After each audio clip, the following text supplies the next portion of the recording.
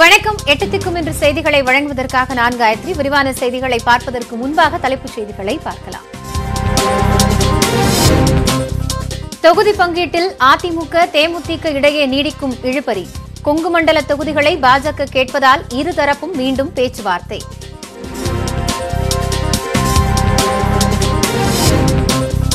திமுக கூட்டணியில் காங்கிரஸ் கட்சிக்கு இருபத்தி நான்கு தொகுதிகள் மட்டுமே ஒதுக்கப்பட வாய்ப்பு. மதிமுக விசிக உள்ளிட்டவை கூடுதல் தொகுதிகள் கேட்பதால் தொடரும் பேச்சுவார்த்தை.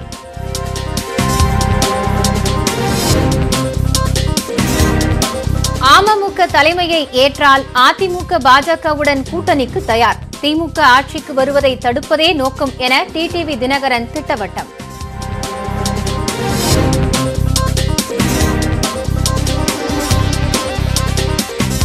சட்டமன்ற தேர்தலில் திமுக இளைஞரணி செயலாளர் உதயநிதி போட்டியில்லை என தகவல். மு ஸ்டாலினே முடிவு செய்வார் என கே என் நேரு விளக்கம்.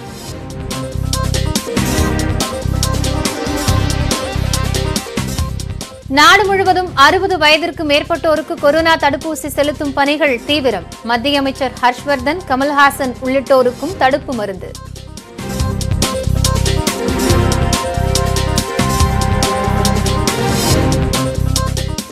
வன்னியர் சமூக இடஒதுக்கீட்டிற்கு எதிராக உயர்நீதிமன்றத்தில் வழக்கு. சாதிவாரி கணக்கெடுப்பை முடிக்காமல் அமல்படுத்தக்கூடாது என தென்னாடு மக்கள் கட்சி மனு.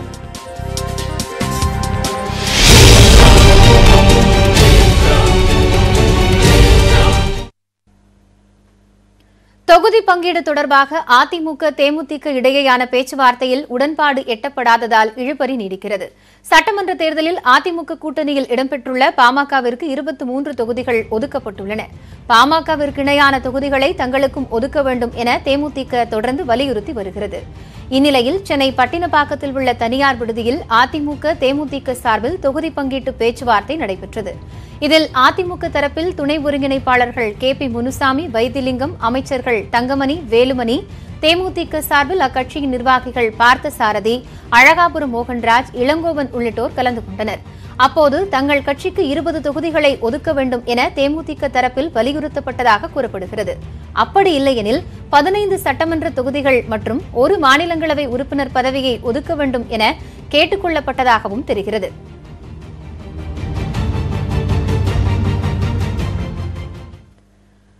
அதிமுகவுடன் அமமுகவை இணைத்தால் மட்டுமே தொகுதி பங்கீட்டை இறுதி செய்ய முடியும் என அமித்ஷா கூறியதாக தகவல்கள் வெளியான நிலையில் அதிமுகவின் கோட்டையாக கருதப்படும் கொங்கு மண்டலத்தில் பாஜக முக்கிய தொகுதிகளை கேட்பதே இழுபறிக்கு காரணம் என்று கூறப்படுகிறது. அதிமுக கூட்டணியில் பாமகவுக்கு இருபத்தி மூன்று தொகுதிகள் ஒதுக்கப்பட்ட நிலையில் அடுத்த பெரிய கட்சியான பாஜகவுக்கு தொகுதி பங்கீட்டை இறுதி செய்வதில் இழுபறி நீடித்துக் கொண்டே வருகிறது. கடந்த வாரத்தில் தமிழகம் வந்த அமித்ஷா இபிஎஸ் ஓபிஎஸ்ஐ சந்தித்து பேச்சுவார்த்தை நடத்திய நிலையிலும் இன்னும் தொகுதி பங்கீடு இறுதியாகவில்லை. அதற்கு அதிமுகவுடன் அமமுகவை இணைக்க வேண்டும் என அமித்ஷா போட்ட உத்தரவே காரணம் என கூறப்பட்டது. ஆனால் அதிமுகவின் கோட்டையாக கருதப்படும் கொங்கு மண்டலத்தில் பாஜக முக்கிய தொகுதிகளை கேட்பதுதான் இழுபறிக்கு காரணம் என்று கூறப்படுகிறது. கோவையில் மொத்தமுள்ள பத்து தொகுதிகளில் ஒன்பது அதிமுக வசமும் சிங்காநல்லூர் தொகுதி மட்டும் திமுக வசமும் உள்ளன. இந்நிலையில் பாஜக ஐந்து தொகுதிகளை ஒதுக்க வேண்டும் என வலியுறுத்துவதாக தகவல் வெளியாகியுள்ளது. கொங்கு மண்டலத்தில் பாஜக சற்று கூடுதல் பலத்துடன் இருப்பதால் குறிப்பிட்ட ஐந்து தொகுதிகளில் மூன்று தொகுதிகளையாவது பெற வேண்டும் என்பதில் பாஜக தலைமை முனைப்பாக இருக்கின்றது. அதன்படி கோவை தெற்கு தொகுதியில் பாஜக மகளிரணி தேசிய தலைவர் வானதி சீனிவாசன் கிணத்துக்கடவு தொகுதியில் பாஜக துணைத் தலைவர் அண்ணாமலை கோவை வடக்கு தொகுதியில் மாநில பொருளாளர் எஸ் ஆர் சேகர் கவுண்டம்பாளையம் தொகுதியில் மாநில பொதுச் செயலாளர் ஜி கே செல்வகுமார் சூலூர் தொகுதியில் விவசாய அணி மாநில தலைவர் ஜி கே நாகராஜ் ஆகியோரை களமிறக்க திட்டமிட்டுள்ளதாக கூறப்படுகிறது. இதேபோன்று திருப்பூர் நீலகிரி சேலம் ஈரோடு மாவட்டங்களிலும் பாஜக குறிப்பிட்ட தொகுதிகளை கேட்டுள்ளதாக பாஜக வட்டாரங்கள் தெரிவிக்கின்றன. கொங்கு மண்டல தொகுதிகளை பாஜகவிற்கு வழங்கினால் பல முக்கிய பிரமுகர்கள் அதிருப்தி அடைவர் என்பதால் அதிமுக இதற்கு தயக்கம் காட்டி வருவதே தொகுதி பங்கீடு இழுபறிக்கு காரணம் என கூறப்படுகிறது. இந்நிலையில் அதிமுக பாஜக இடையே சென்னையில் உள்ள நட்சத்திர ஹோட்டலில் மீண்டும் பேச்சுவார்த்தை நடைபெற்றது. அதில் மத்திய உள்துறை இணையமைச்சர் கிஷன் ரெட்டி பாஜக மாநில தலைவர் எல் முருகன் ஆகியோருடன் கே பி முனுசாமி அமைச்சர்கள் தங்கமணி எஸ் பி வேலுமணி மற்றும் வைத்திலிங்கம் ஆகியோர் பேச்சுவார்த்தை நடத்தினர். அப்பொழுதும் இழுபறி முடிவுக்கு வராத நிலையில் மீண்டும் பேச்சுவார்த்தை நடைபெற உள்ளது. இந்த நிலையில் வரும் ஏழாம் தேதி நாகையில் நடைபெற உள்ள பொதுக்கூட்டத்தில் பங்கேற்க மத்திய அமைச்சர் அமித்ஷா வரும்போது அதிமுக பாஜக இடையிலான கூட்டணி இறுதி செய்யப்படும் என எதிர்பார்க்கப்படுகிறது.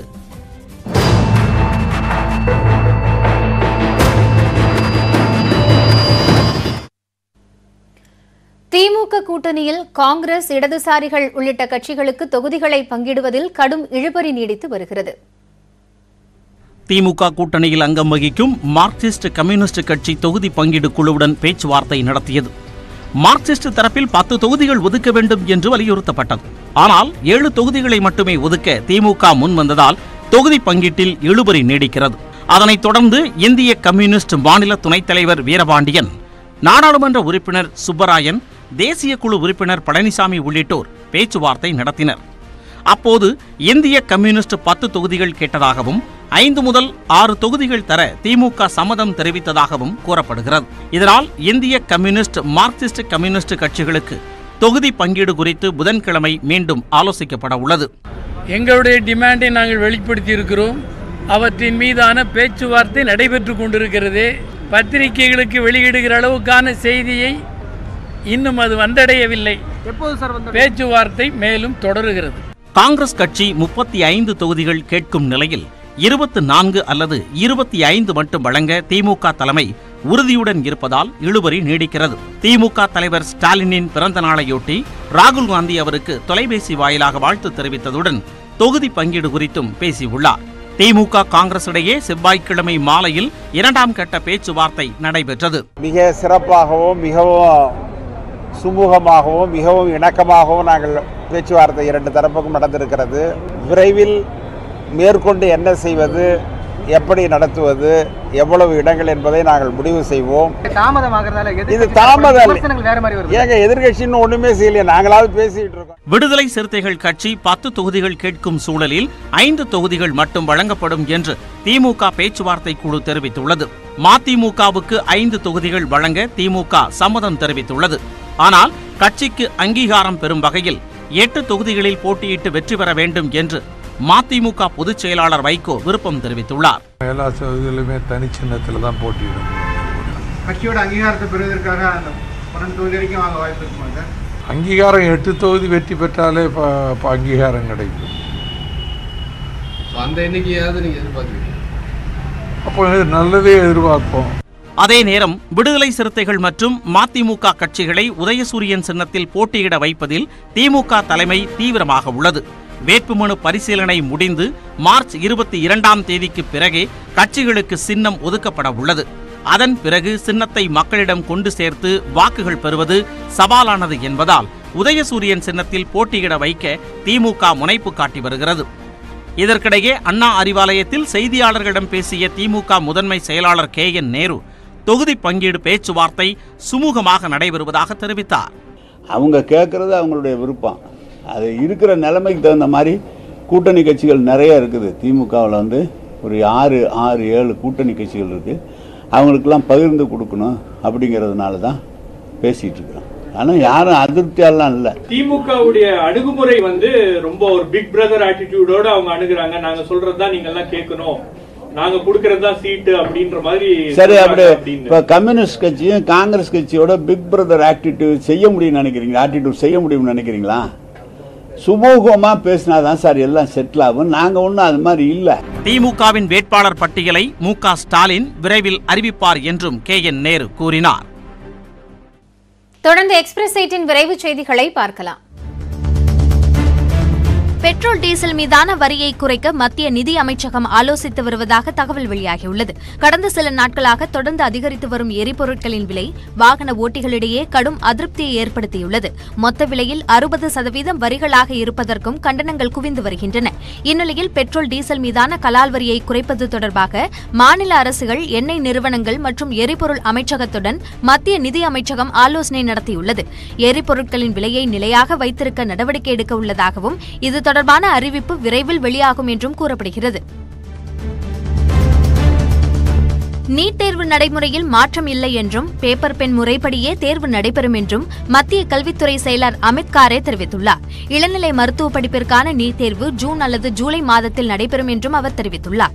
நீட் தேர்வை கணினி மூலம் நடத்துவது குறித்து சிந்திக்குமாறு சுகாதாரத்துறைக்கு கல்வித்துறை அமைச்சகம் கருத்து தெரிவித்திருந்தது. ஆண்டுக்கு இரண்டு முறை நீட் தேர்வு நடத்துவது குறித்தும் அதிகாரிகள் மட்டத்தில் ஆலோசனை நடந்து வந்தது. இது தொடர்பாக நமது செய்தியாளர் எழுப்பிய கேள்விக்கு பதிலளித்த மத்திய கல்வித்துறை செயலர் அமித் காரே இந்த ஆண்டு நீட் தேர்வு தேர்வு பழைய முறைப்படியே நடத்த முடிவு செய்யப்பட்டுள்ளதாக கூறினார். கணினி வழியிலான தேர்வு குறித்து அடுத்த ஆண்டு யோசிப்போம் எனவும் அவர் கூறினார். அசாமில் தேர்தல் பரப்புரையில் ஈடுபட்ட காங்கிரஸ் பொதுச் செயலாளர் பிரியங்கா காந்தி தேயிலை தோட்ட பணியாளர்களுடன் சேர்ந்து தேயிலை பறித்தார். அம்மாநில சட்டமன்ற தேர்தல் மார்ச் இருபத்தி ஏழாம் தேதி தொடங்கி மூன்று கட்டங்களாக நடைபெறவுள்ளது. இதனையொட்டி இரண்டு நாள் சுற்றுப்பயணமாக பிரியங்கா காந்தி அங்கு தேர்தல் பரப்புரையில் ஈடுபட்டுள்ளார். இந்நிலையில் பிஸ்வந்த் பகுதியில் உள்ள சதுரு தேயிலை தேட்ட தொழிலாளர்களிடையே அவர் வாக்கு சேகரித்தார் அப்போது அவர்களுடன் சேர்ந்து தலையில் கூடையை மாட்டிக்கொண்டு தேயிலை பறித்தார்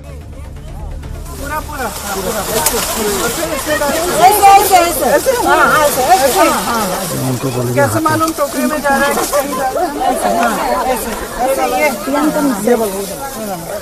है தேர்தல் நடத்தை விதிகள் அமலானதால் கணக்கில் வராத பணப்பரிவர்த்தனை தொடர்பான புகார்களை தெரிவிக்க கட்டுப்பாட்டு அறையை வருமான வரித்துறை தொடங்கியுள்ளது. தமிழகம் மற்றும் புதுவையில் தேர்தல் செலவுகளை கண்காணிப்பதற்கு வருமான வரித்துறையிடம் தேர்தல் ஆணையம் கேட்டுக்கொண்டது. அதன்படி தேர்தல் காலகட்டத்தில் உரிய ஆவணமின்றி எடுத்து செல்லப்படக்கூடிய பணத்தை பறிமுதல் செய்வதற்கான முன்னேற்பாடுகளை வருமான வரித்துறையின் விசாரணை பிரிவு மேற்கொண்டுள்ளது. அத்துடன் இதற்காக இருபத்தி நான்கு மணி நேரமும் செயல்படக்கூடிய கட்டுப்பாட்டு அறை தொடங்கப்பட்டுள்ளது. மேலும் யாராவது பணம் நகைகளை பதுக்கி வைத்திருந்தால் அது தொடர்பாக புகார்களை தெரிவிக்க ஒன்று எட்டு பூஜ்ஜியம் பூஜ்ஜியம் நான்கு இரண்டு ஐந்து ஆறு ஆறு ஆறு ஒன்பது என்ற இலவச தொலைபேசி எண்ணும் வெளியிடப்பட்டுள்ளது. ஒவ்வொரு சட்டமன்ற தொகுதிக்கும் மூன்று பறக்கும் படைகள் அமைக்கப்பட்டிருப்பதாக தமிழக தலைமை தேர்தல் அதிகாரி சத்யபிரதா சாஹூ தெரிவித்துள்ளார். சென்னை தலைமைச் செயலகத்தில் செய்தியாளர்களிடம் பேசிய அவர் ஒவ்வொரு சட்டமன்ற தொகுதியிலும் பறக்கும் படை நிலை கண்காணிப்பு படை வீடியோ பதிவு செய்யும் குழு கணக்கீட்டு குழு உள்ளிட்ட ஐந்து வகையான குழுக்கள் அமைக்கப்பட்டிருப்பதாக தெரிவித்தார். ஒவ்வொரு தொகுதிக்கும் தலா மூன்று பறக்கும் படை குழுக்களும் நிலை கண்காணிப்பு குழுக்களும் ரோந்து பணியில் ஈடுபடுவார்கள் என்று அவர் கூறினார். அரசு மற்றும் தனியார் இடங்களில் இருந்த எண்பத்தி இரண்டு பேனர்கள் அகற்றப்பட்டு நாற்பத்தாறு வழக்குகள் பதிவு செய்யப்பட்டிருப்பதாகவும் சத்யபிரதா சாஹூ கூறினார். எண்பது வயதிற்கு மேற்பட்டோர் மற்றும் மாற்றுத்திறனாளிகள் தபால் மூலம் வாக்களிப்பதற்கு வசதியாக அவர்களது இல்லத்திற்கே சென்று அதிகாரிகள் அறிவுறுத்துவார்கள் என்றும் சத்யபிரதா சாஹூ தெரிவித்தார். வன்னியர்களுக்கான பத்து புள்ளி ஐந்து சதவீத உள்ஒதுக்கீடு வழங்கி இயற்றப்பட்ட சட்டத்தை எதிர்த்து சென்னை உயர்நீதிமன்றத்தில் தென்னாடு மக்கள் கட்சி வழக்கு தொடர்ந்துள்ளது. தற்காலிக சட்டத்தின் அடிப்படையில் எந்த ஒரு நடவடிக்கையும் எடுக்கக்கூடாது என்றும் கோரப்பட்டுள்ளது சாதிவாரி கணக்கெடுப்பை முடிக்காமல் எப்படி இந்த சட்டம் இயற்றப்பட்டது என்றும் கேள்வி எழுப்பிய மனுதாரர். எம்பிசி பிரிவில் உள்ள இருபத்தி இரண்டு சாதிகளுக்கு வெறும் இரண்டு புள்ளி ஐந்து சதவீத இடஒதுக்கீடு மட்டுமே கிடைக்கும் என்று குறிப்பிட்டுள்ளார். அத்துடன் தேர்தல் நெருங்கும் நிலையில் அரசியல் லாபத்திற்காக இந்த சட்டம் இயற்றப்பட்டுள்ளதாகவும் மனுதாரர் தெரிவித்துள்ளார். இந்த மனு விரைவில் விசாரணைக்கு வரவுள்ளது தமிழகத்தில் எண்பது வயதிற்கு மேற்பட்ட வாக்காளர்களின் பட்டியலை தமிழக தலைமை தேர்தல் அதிகாரி சத்யபிரதா சாஹூ வெளியிட்டுள்ளார். சட்டப்பேரவைத் தேர்தலில் எண்பது வயதிற்கு மேற்பட்டவர்கள் தபால் மூலம் வாக்களிக்கலாம் என தேர்தல் ஆணையம் அறிவித்துள்ளது. இதில் முறைகேடு நடைபெறாமல் தடுக்கும் வகையில் வீடுகளுக்கு அலுவலர்கள் நேரடியாக சென்று தபால் வாக்களிக்க விரும்புவோரிடம் டுவெல் டி படிவத்தை பூர்த்தி செய்து பெறுவார்கள் என்று தேர்தல் ஆணையம் அறிவித்துள்ளது. டுவெல் டி படிவத்தை பூர்த்தி செய்து அளித்தவர்களால் நேரடியாக வாக்குச்சாவடிக்கு சென்று வாக்களிக்க முடியாது என்று அறிவிக்கப்பட்டுள்ளது. இந்நிலையில் தமிழகம் முழுவதும் எண்பது வயதிற்கு மேற்பட்ட பனிரெண்டு லட்சத்து தொன்னூற்றோராயிரத்து நூற்று முப்பத்தி இரண்டு வாக்காளர்கள் இருப்பதாக தலைமை தேர்தல் அதிகாரி சத்யபிரதா சாஹூ தெரிவித்துள்ளார். அதிகபட்சமாக சென்னையில் ஒரு லட்சத்து எட்டாயிரத்து எழுநூற்று பதினெட்டு பேர் இருப்பதாக அவர் கூறியுள்ளார். விருதுநகர் மாவட்டம் காரியாபட்டி அருகே சாலையில் சுற்றித்திருந்த குரங்கு தாக்க முயன்றபோது சிறுவன் சாதுரியமாக சிலையாக மாறி தப்பிய வீடியோ வெளியாகியுள்ளது. காரியாபட்டி அருகே உள்ள மறைக்குளம் கிராமத்தில் பல நாட்களாக சுற்றித் திரியும் ஒற்றை குரங்கு சாலையில் நடந்து செல்லும் பலரை தாக்கியதோடு அவர்கள் கொண்டு செல்லும் பொருட்களையும் பறித்து வந்துள்ளது. அந்த பகுதியில் பதினைந்துக்கும் மேற்பட்ட நாய்களை கடித்துள்ளது. இந்நிலையில் கிராமத்தில் உள்ள பள்ளி சுவற்றின் மீது அமர்ந்திருந்த சிறுவன் ஒருவனை தாக்க முயன்றது. அப்போது அந்த சிறுவன் சாதுரியமாக சிலை போல் மாறினார். சுமார் ஏழு நிமிடம் நிமிடங்கள் அந்த சிறுவனை சுற்றி பல சேட்டைகள் செய்த குரங்கு பின்னர் அங்கிருந்து சென்றது. எந்திரோடா உன்னைய கருத்து போரும்ல அப்புறம் நைட்டு நாங்கள் நீங்கள் தப்பி ஓடி வந்துரு போயிட்டு. தப்பிடுறா போயிட்டு. தப்புடா. தப்பிடுறா. திருவாரூர் தியாகராஜர் கோயிலில் ஆழி தேரோட்ட திருவிழா கொடியேற்றத்துடன் தொடங்கியது. உலக பிரசித்தி பெற்ற திருவாரூர் கோயில் திருவிழா வரும் இருபத்தி ஐந்தாம் தேதி நடைபெறுகிறது. இதற்காக கோயில் கொடிமரத்திற்கு புனித நீரால் சிறப்பு அபிஷேகம் மங்கள வாத்தியங்கள் முழங்க தீபாராதனை காட்டப்பட்டது.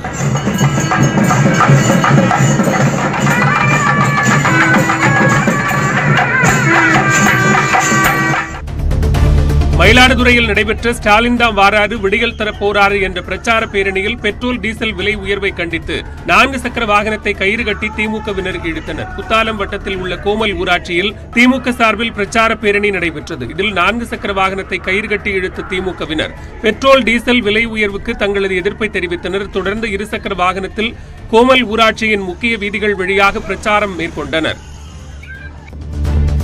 இத்தாலியில் உள்ள மவுண்ட் எட்னா எரிமலையில் இருந்து வெளிப்படும் பாறை துகள்களால் ஜியாரே நகர மக்களின் இயல்பு வாழ்க்கை பாதிக்கப்பட்டுள்ளது. எட்னா எரிமலை தொடர்ந்து நெருப்பு குழம்பை வெளியேற்றி வரும் சூழலில் அருகில் உள்ள நகரங்கள் சாம்பலால் சூழப்பட்டுள்ளன. எரிமலை வெடிப்பின் போது வான்நோக்கி பறந்த சாம்பல் மற்றும் பாறை துகள்கள் ஜியாரேவில் உள்ள கட்டிடங்கள் சாலை மற்றும் வாகனங்கள் மீது படர்ந்ததால் பொதுமக்கள் சிரமத்திற்கு ஆளாகினர். வீடு மற்றும் சாலையில் படர்ந்துள்ள சாம்பல் மற்றும் பாறை துகள்களை பொதுமக்களை அகற்றினர். இதனிடையே சிலர் சாம்பலிலேயே தங்களது பெயர்களை எழுதியும் காதல் சின்னத்தை வரைந்தும் மகிழ்ந்தனர்.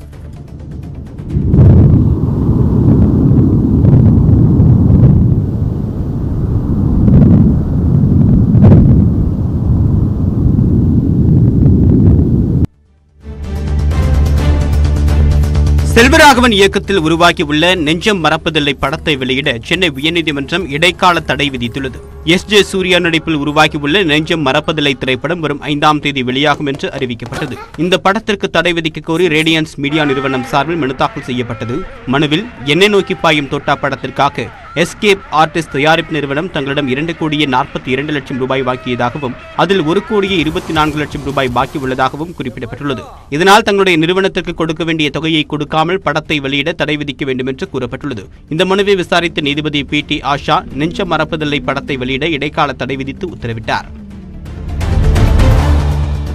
இன்ஸ்டாகிராமில் பத்து கோடி ஃபாலோவர்களை கொண்ட முதல் கிரிக்கெட் வீரர் என்கிற பெருமையை இந்திய கேப்டன் கோலி பெற்றிருக்கிறார். சர்வதேச அளவில் பெரிய ரசிகர் பட்டாளத்தையே கொண்டுள்ள கோலி சமூக வலைதளங்களிலும் சுறுசுறுப்பாக செயல்பட்டு வருகிறார். இந்நிலையில் முதல் இந்திய மற்றும் சர்வதேச கிரிக்கெட் வீரராக கோலி இன்ஸ்டாகிராமில் பத்து கோடி பார்வையாளர்களை பெற்றுள்ளதாக ஐசிசி ட்விட்டரில் பதிவிட்டுள்ளது. முன்னதாக பிரியங்கா சோப்ரா ரன்வீர் சிங் மற்றும் தீபிகா படுகோன் ஆகிய மூன்று இந்திய பிரபலங்களும் இன்ஸ்டாகிராமில் பத்து கோடி ஃபாலோவர்களை பெற்றிருக்கிறார்கள். தேசிய முற்போக்கு திராவிடர் கழகம் என்ற கட்சியை விஜயகாந்த் தொடங்கியதில் இருந்து அக்கட்சி தொட்ட உயரம் என்ன அடைந்த சரிவு என்ன என்பதை இந்த தொகுப்பில் பார்க்கலாம்.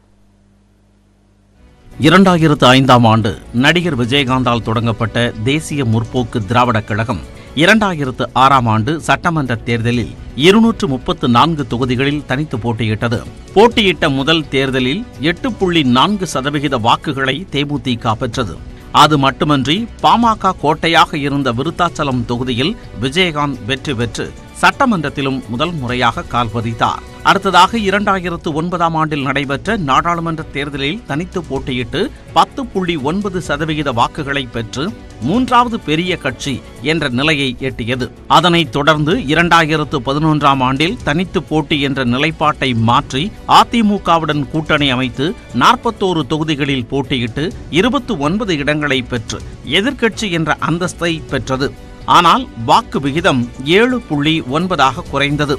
அதிமுக கூட்டணியில் இருந்து கொண்டே எதிர்க்கட்சியாக அங்கம் வகித்த தேமுதிக சட்டமன்றத்தில் ஏற்பட்ட கடுமையான வாக்குவாதத்திற்கு பிறகு கூட்டணியில் இருந்து வெளியேறியது. அதன் பிறகு இரண்டாயிரத்து பதினான்காம் ஆண்டு நாடாளுமன்ற தேர்தலில் பாஜகவுடன் கூட்டணி அமைத்து பதினான்கு இடங்களில் தேமுதிக போட்டியிட்டது. அந்த தேர்தலில் ஒரு இடத்தில் கூட வெற்றி பெறாத நிலையில் ஐந்து புள்ளி ஒன்று சதவிகித வாக்குகளை மட்டுமே அக்கட்சி பெற்றது. அப்போதிலிருந்தே தேமுதிகவின் வாக்கு சதவிகிதம் கணிசமாக குறையத் தொடங்கியது.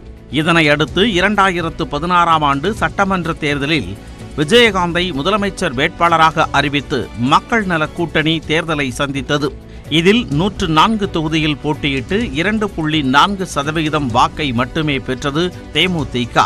உளுந்தூர்பேட்டையில் போட்டியிட்ட விஜயகாந்திற்கு மூன்றாம் இடமே கிடைத்தது. பின்னர் இரண்டாயிரத்து பத்தொன்பதாம் ஆண்டு நாடாளுமன்ற தேர்தலில் பாஜக அதிமுக கூட்டணியில் அங்கம் வகித்த தேமுதிக நான்கு தொகுதிகளை பெற்று தேர்தலில் களம் கண்டது. ஆனால் அதிலும் தேமுதிகவின் வாக்கு சதவிகிதம் இரண்டு புள்ளி இரண்டு என்ற அளவிற்கு குறைந்துவிட்டது. தொகுதிகளை கேட்கும் நிலையில் இருந்த தேமுதிக பெரிய கட்சிகள் கொடுக்கும் இடங்களை பெற்றுக்கொள்ளும் நிலைக்கு தள்ளப்பட்டுள்ளது. நியூஸ் எயிட்டின் தமிழ்நாடு தொலைக்காட்சி செய்திகளுக்காக செய்தியாளர் வேல்முருகன். மேலும் பல்வேறு செய்திகளை விரிவாக பார்க்க இருக்கிறோம். குறிப்பாக புதுச்சேரியில் பாஜக கூட்டணியில் இருந்து வெளியேறுகிறாரா ரங்கசாமி? விவரம் அறியலாம் இடைவேளைக்கு பிறகு.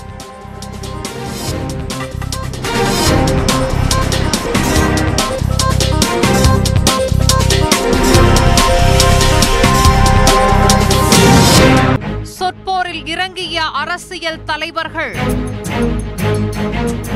அன்றாட பரபரப்பு அரசியல் நிகழ்வுகள். பேச்சு பேட்டி அறிக்கை. நாள்தோறும் இரவு ஒன்பது மணிக்கு.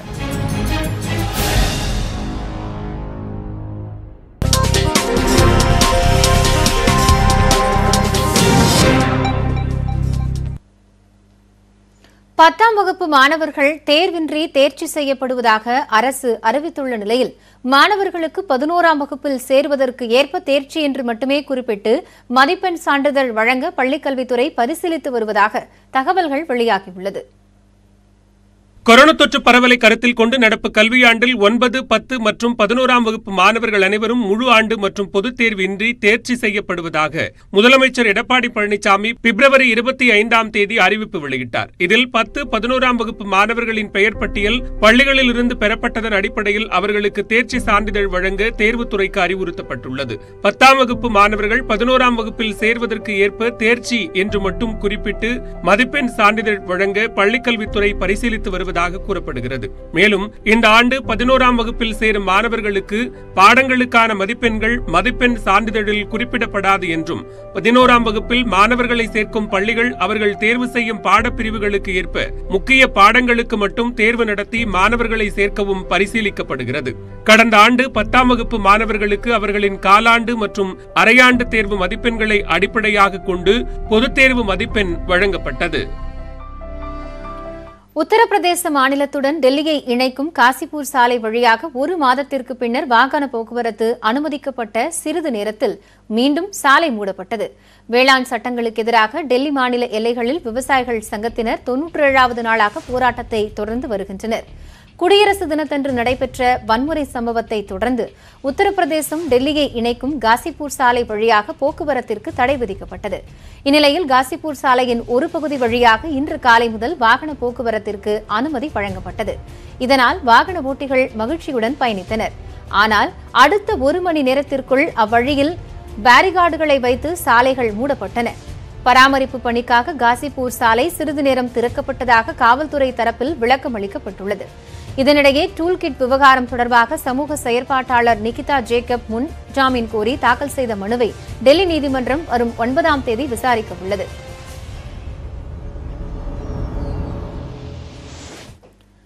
பெட்ரோல் டீசல் விலையேற்றத்தை கண்டித்து கேரளாவில் நடைபெற்ற முழு அடைப்பு போராட்டத்தால் இயல்பு வாழ்க்கை கடுமையாக பாதிக்கப்பட்டது. பெட்ரோல் டீசல் விலை நாளுக்கு நாள் உயர்ந்து வருவதால் அத்தியாவசிய பொருட்களின் விலையும் உயர்ந்து வருகிறது. இந்நிலையில் பெட்ரோல் டீசல் விலை உயர்வை திரும்பப் பெற வலியுறுத்தி கேரளாவில் போக்குவரத்து சங்கங்கள் மற்றும் வணிகர்கள் கூட்டமைப்பினர் செவ்வாய்க்கிழமை ஒருநாள் முழு அடைப்பு போராட்டத்திற்கு அழைப்பு விடுத்தனர். அதன்படி தனியார் பேருந்துகள் லாரிகள் சரக்கு வாகனங்கள் ஆட்டோக்கள் ஓடவில்லை. அரசு பேருந்து ஊழியர்களும் போராட்டத்திற்கு ஆதரவு தெரிவித்ததால் போக்குவரத்து சேவை கடுமையாக பாதிக்கப்பட்டது. மேலும் இருசக்கர வாகனங்கள் கார்கள் குறைந்த அளவிலேயே இயக்கப்பட்டதால் சாலைகள் வெறிச்சோடி காணப்பட்டன. பொதுமக்கள் வெளியூர் வெளியூர்களுக்கு பயணம் செய்ய முடியாமல் பேருந்து நிலையங்களில் காத்து கிடந்தனர்.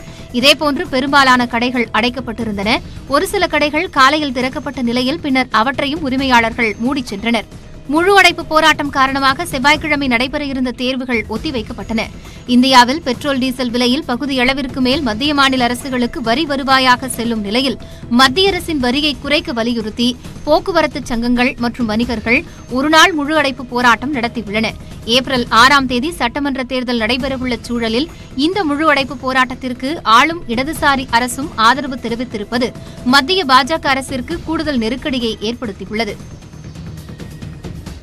தஞ்சாவூரில் முன்விரோதம் காரணமாக இளைஞரை படுகொலை செய்த கும்பல் தலையை அவரது வீட்டின் அருகில் உள்ள கோயில் முன்பு வைத்துச் சென்ற சம்பவம் அதிர்ச்சியை ஏற்படுத்தியுள்ளது. ரெட்டிப்பாளையம் அன்னை சிவகாமி நகரைச் சேர்ந்தவர் மணிகண்டன். பத்தொன்பது வயதான இவர் மீது பல்வேறு குற்ற வழக்குகள் நிலுவையில் உள்ளன. நேற்றிரவு மதுபோதையில் வீடு திரும்பிய அவரை சிலர் வழிமறித்து அருகில் உள்ள ரயில் தண்டவாளத்திற்கு அழைத்துச் சென்று சரமாரியாக தாக்கியுள்ளனர். உயிரிழந்த மணிகண்டனின் தலையை துண்டித்து அம்மன் கோயில் வாசலிலும் உடலை தண்டவாளத்திலும் வீசிவிட்டு சென்றுள்ளனர். இதுகுறித்து பொதுமக்கள் அளித்த தகவலின் பேரில் சென்ற காவல்துறையினர் உடல் மற்றும் தலையை கைப்பற்றி விசாரணை நடத்தி வருகின்றனர். அதே பகுதியைச் சேர்ந்த முத்துராமனுக்கும் மணிகண்டனுக்கும் முன்விரோதம் இருந்த நிலையில் இந்த கொலை நடந்திருக்கலாம் என காவல்துறையினர் சந்தேகிக்கின்றனர்.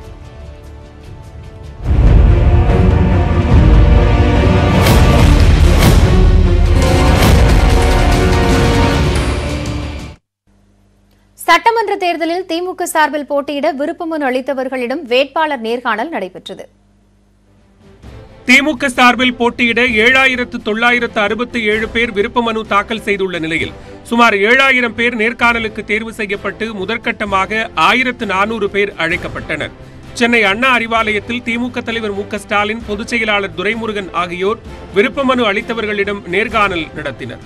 முற்பகலில் கன்னியாகுமரி தூத்துக்குடி திருநெல்வேலி மாவட்டங்களுக்கு உட்பட்ட தொகுதிகளுக்கும் மாலையில் விருதுநகர் சிவகங்கை தேனி மாவட்டங்களுக்கான தொகுதிகளுக்கும் நேர்காணல் நடைபெற்றது. மார்ச் ஆறாம் தேதி வரை நேர்காணல் நடைபெறுகிறது. அதிமுக சார்பில் தமிழ்நாடு புதுச்சேரி கேரள சட்டமன்ற தேர்தலில் போட்டியிட விருப்ப மனு தாக்கல் செய்தவர்களுக்கான நேர்காணல் வியாழக்கிழமை நடைபெறும் என்று தெரிவிக்கப்பட்டுள்ளது. ஒரே நாளில் இரண்டு கட்டங்களாக அனைத்து தொகுதிகளுக்கும் வேட்பாளர் நேர்காணல் நடத்தி முடிக்கப்படும் என்று அறிவிக்கப்பட்டுள்ளது.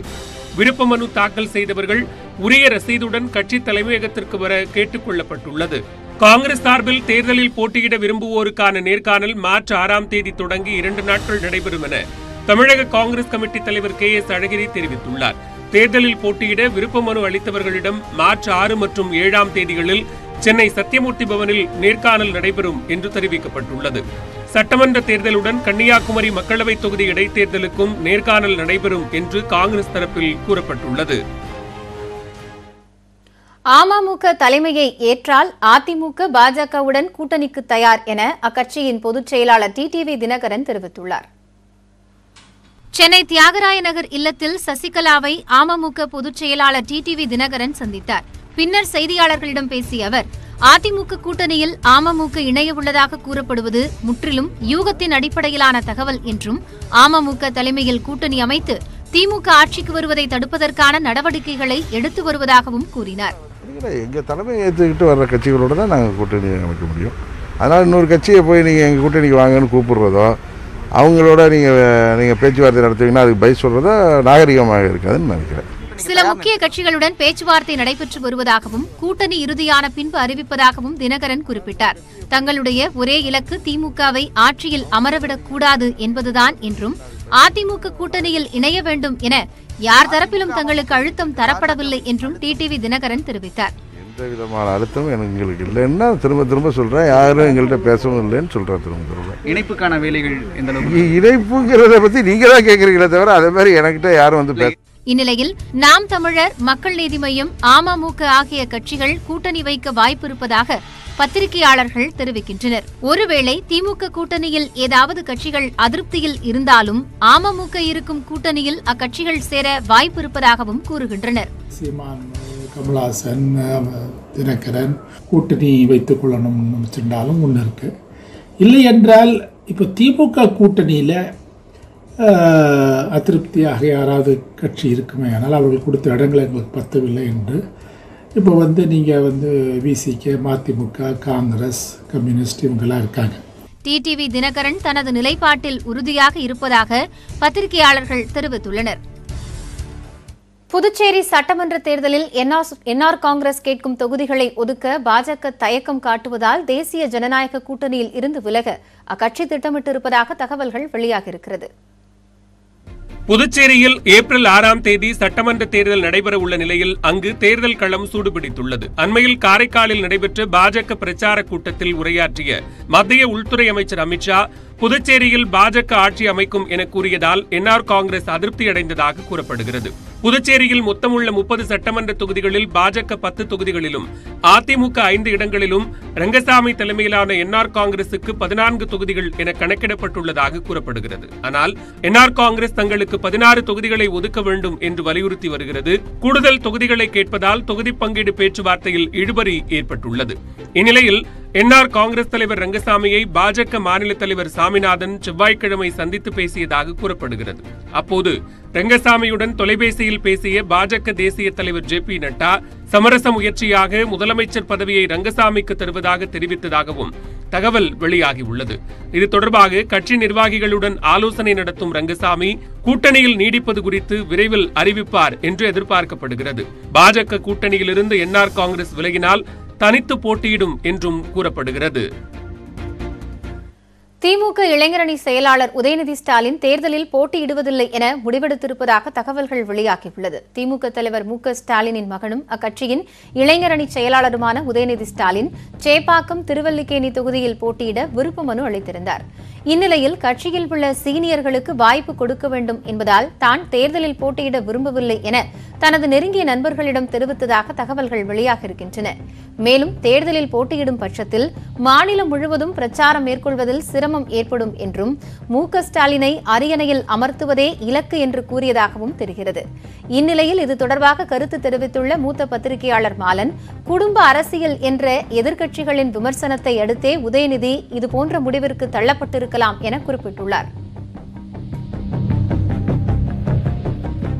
அதாவது திமுக அண்மை காலமாக சந்தித்து வந்த பெரிய விமர்சனம் என்பது வந்து அவர்கள் வாரிசு அரசியலை உருவாக்குகிறார்கள் குடும்ப ஆட்சியை நடத்துகிறார்கள் என்கின்ற ஒரு விமர்சனம் தொடர்ந்து வைக்கப்பட்டது. அதை வட இந்தியாவிலிருந்து வந்த பாஜக தலைவர்களும் அதை குறிப்பிட்டு பேசினார்கள். கடந்த பா- தேர்தலை பொறுத்த வரைக்கும் அது ஓரளவுக்கு உண்மை என்றுதான் இருந்தது. ஏனென்றால் திமுகவினுடைய முன்னணி தலைவர்களுடைய மகன்கள் மகள் போன்றவர்கள் வேட்பாளர்களாக நிறுத்தப்பட்டார்கள். சட்டப்பேரவைத் தேர்தலில் உதயநிதி ஸ்டாலின் போட்டியிட மாட்டார் என்பது உறுதிப்படுத்தப்படாத செய்தி என்று கே. என். நேரு விளக்கமளித்துள்ளார். உதயநிதி போட்டியிடுவாரா என்பது குறித்து திமுக தலைவர் மு. க. ஸ்டாலின் தான் முடிவு செய்வார் என்றும் அவர் கூறினார்.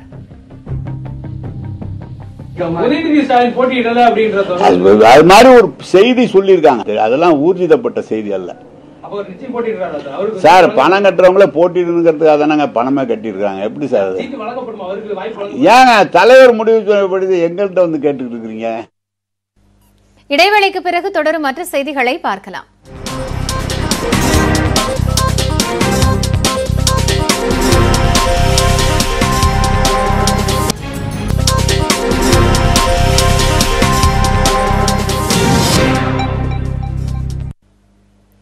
திருப்பூரில் ஏடிஎம் இயந்திரத்தை கொள்ளையடித்த வழக்கில் வடமாநில கொள்ளையர்கள் ஆறு பேர் கைது செய்யப்பட்டுள்ளனர்.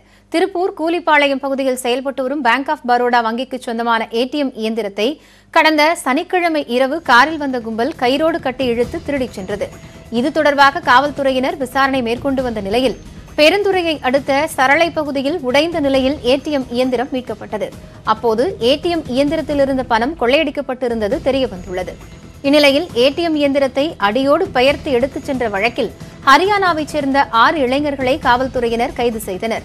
அவர்களிடம் இருந்து இரு நாட்டு துப்பாக்கிகள் ஒன்பது தோட்டாக்கள் எழுபதாயிரம் ரொக்கம் ஆகியவை பறிமுதல் செய்யப்பட்டுள்ளதாக காவல்துறையினர் தெரிவித்தனர்.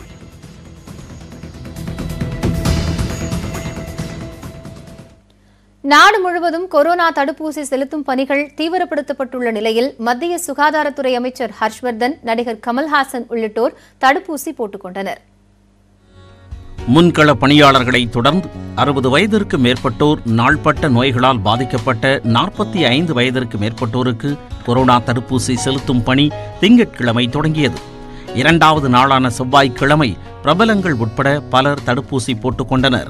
டெல்லியில் இதய மற்றும் நுரையீரல் சிகிச்சை மருத்துவமனையில் மத்திய சுகாதாரத்துறை அமைச்சர் ஹர்ஷ்வர்தன் அவரது மனைவி நூதன் கோயல் ஆகியோர் தடுப்பூசி போட்டுக்கொண்டனர்.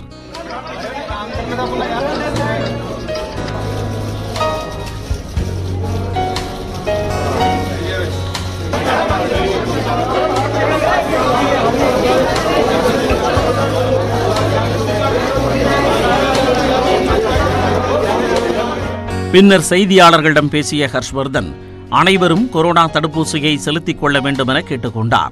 தொன்னூற்று ஏழு சதவிகிதம் பேர் கொரோனாவில் இருந்து குணமடைந்துள்ளதாகவும் உலக நாடுகளில் இந்தியாவில்தான் நோய் தொற்றிலிருந்து மீண்டவர்கள் அதிகம் எனவும் தெரிவித்தார். உத்தரப்பிரதேச மாநிலம் ராம்பூரில் மத்திய அமைச்சர் முக்தார் அப்பாஸ் நக்வியும் தேசிய மாநாட்டுக் கட்சியின் எம்பி ஃபருக் அப்துல்லா ஸ்ரீநகரிலும் கொரோனா தடுப்பூசி போட்டுக் கொண்டனர்.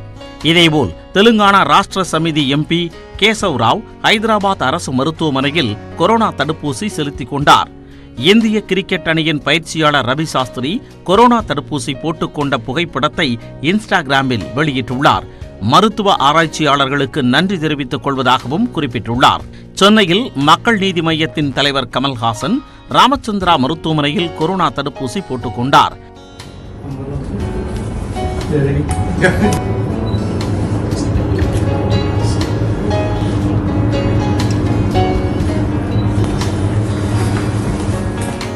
இது தொடர்பான ட்விட்டர் பதிவில் தன்மேல் மாத்திரமல்ல பிறர் மேல் அக்கறை உள்ளவர்களும் தடுப்பூசி போட்டுக்கொள்ள வேண்டும் என குறிப்பிட்டுள்ளார்.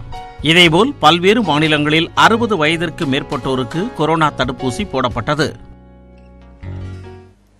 தமிழகத்தில் உரிய ஆவணங்களின்றி எடுத்துச் செல்லப்பட்ட சுமார் ஐம்பத்தேழு லட்சம் ரூபாய் மற்றும் பரிசு பொருட்களை தேர்தல் பறக்கும் படை அதிகாரிகள் பறிமுதல் செய்தனர். கடலூர் மாவட்டம் ஆல்பேட்டை பகுதியில் வட்டாட்சியர் கலாவதி தலைமையில் வாகன சோதனை நடத்தப்பட்டது. அப்போது அவ்வழியாக சென்ற காரை வழிமறித்து சோதனை செய்தபோது ஆவணங்களின்றி ஐம்பத்தோரு லட்சம் ரூபாய் இருந்தது கண்டுபிடிக்கப்பட்டது. அதை பறிமுதல் செய்த அதிகாரிகள் பெங்களூருவைச் சேர்ந்த ராம்பிரசாத் என்பவரிடம் விசாரணை நடத்தி வருகின்றனர்.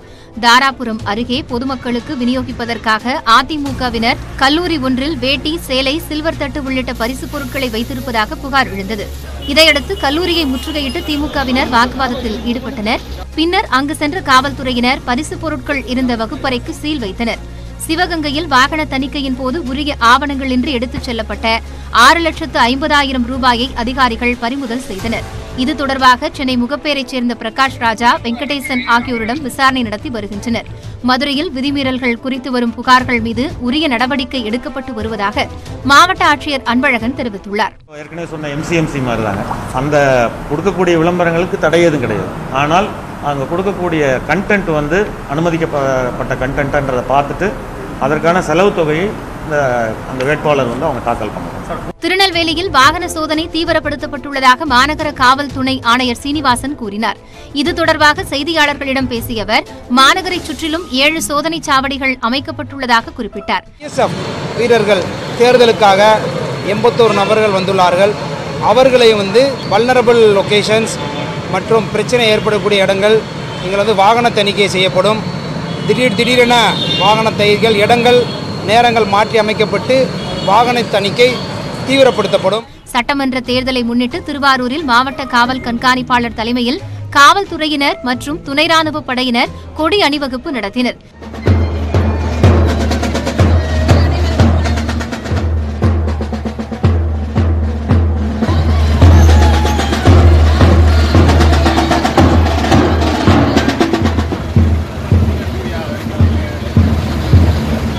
சென்னை விமான நிலையத்தில் மத்திய தொழில் பாதுகாப்பு படையினர் வாகன சோதனையை தீவிரப்படுத்தியுள்ளனர். விமான நிலையத்திலிருந்து வெளியே வரும் அனைத்து கார்களும் தீவிர சோதனைக்கு உட்படுத்தப்படுகின்றன. அதிமுக கூட்டணியில் தொகுதி பங்கீடு இறுதி செய்யப்படாத நிலையில் தமிழகம் முழுவதும் பாஜகவினர் தேர்தல் பரப்புரையை தொடங்கியுள்ளனர். கிருஷ்ணகிரி மாவட்டம் ஹொசூரில் பாஜக தேர்தல் பரப்புரை தொடக்க பேரணியில் கட்சியின் பொதுச் செயலாளரும் தமிழகத்திற்கான மேலிட பொறுப்பாளருமான சி டி ரவி கலைப்பிரிவு மாநில தலைவர் காயத்ரி ரகுராம் மாநில துணைத் தலைவர் நரேந்திரன் உட்பட நூற்றுக்கணக்கானோர் பங்கேற்றனர். ராம்நகரில் தொடங்கி மகாத்மா காந்தி சிலை ஏரி சாலை வழியாக வட்டாட்சியர் அலுவலகம் வரை பேரணியாக சென்றனர். அப்போது செய்தியாளர்களிடம் பேசிய சி. டி. ரவி சட்டமன்ற தேர்தலில் திமுக கூட்டணியை வீழ்த்துவோம் என உறுதிபட கூறினார். We will defeat DMK alliance. People are uh, this election not only BJP, Congress, ADMK, DMK. This election it will DMK versus Tamil Nadu Makkal.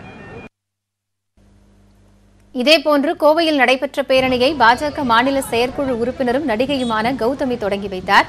Gandhipuram பகுதியில் இருந்து சிவானந்தா மில்ஸ் வரை நானூற்றுக்கும் மேற்பட்ட வாகனங்களில் பாஜகவினர் பேரணியாக சென்றனர். அப்போது பாஜக கொடி மற்றும் நமது சின்னம் தாமரை என்ற பதாகைகளை ஏந்தியபடி அவர்கள் சென்றனர். இந்த உற்சாகத்தை பார்த்து ரொம்ப சந்தோஷமா இருக்கு. கண்டிப்பாக இதே உற்சாகமும் இதே ஒரு உழைப்பும் இதே ஒரு சந்தோஷமும் நம்மள இந்த வரப்போற தேர்தலில் ஒரு அருமையான வெற்றி கொண்டு போய் சேரும் அப்படிங்கிற ஒரு நம்பிக்கை எனக்கு இருக்கு. திருச்சியில் தேசிய கல்லூரி மைதானத்தில் இருந்து காமராஜர் வளைவு வரை பாஜகவினர் பேரணியாக சென்றனர். இதில் பாஜக மாநில இணை பார்வையாளர் சுதாகர் ரெட்டி உட்பட ஆயிரக்கணக்கானோர் கலந்து கொண்டு தாமரை சின்னத்திற்கு ஆதரவு திரட்டினர்.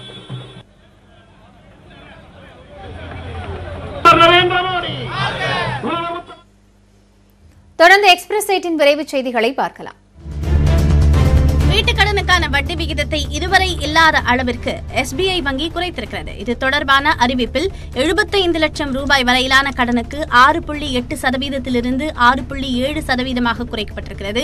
75 லட்சம் முதல் ஐந்து கோடி ரூபாய் வரையிலான வீட்டுக்கடனுக்கு வட்டி ஆறு புள்ளி ஏழு ஐந்து சதவீதமாக குறைந்திருக்கிறது.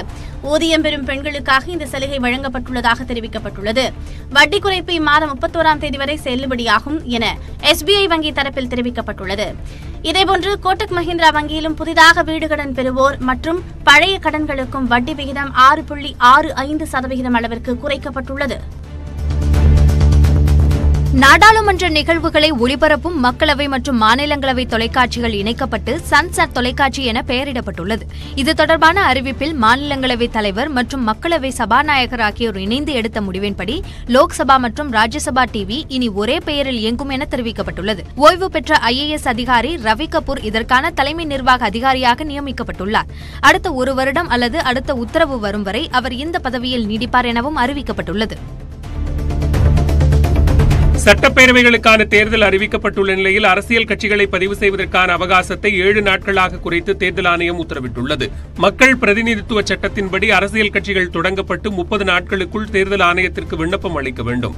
மேலும் தாங்கள் தொடங்க விரும்பும் கட்சியின் பெயரை இரண்டு தேசிய நாளிதழ்கள் மற்றும் இரண்டு உள்ளூர் நாளிதழ்களில் விளம்பரமாக வெளியிட வேண்டும். இதில் ஏதேனும் ஆட்சேபனை இருந்தால் முப்பது நாட்களுக்குள் தேர்தல் ஆணையத்திற்கு தகவல் தெரிவிக்கலாம். இதனையடுத்து அரசியல் கட்சி பதிவு செய்யப்படும். இந்த நிலையில் கொரோனா பரவல் காரணமாக விண்ணப்பங்கள் பரிசீலிப்பதில் தாமதம் ஏற்படுவதால் பொதுமக்களின் கருத்துக்களை பெறுவதற்கான அவகாசத்தை ஏழு நாட்களாக தேர்தல் ஆணையம் குறைத்துள்ளது. அசாம் தமிழ்நாடு கேரளா புதுச்சேரி மாநிலங்களில் கடந்த மாதம் இருபத்தி ஆறாம் தேதிக்கு ஏழு நாட்களுக்கு முந்தைய நாள் முதல் வரும் பத்தொன்பதாம் தேதி வரை பொது அறிவிக்கை வெளியிடுவோருக்கு இந்த சலுகை பொருந்தும் என்று தேர்தல் ஆணையம் தெரிவித்துள்ளது. மேற்கு வங்க மாநிலத்தில் ஏப்ரல் ஏழாம் தேதி வரை இந்த சலுகை பொருந்தும் என்றும் அறிவிக்கப்பட்டுள்ளது.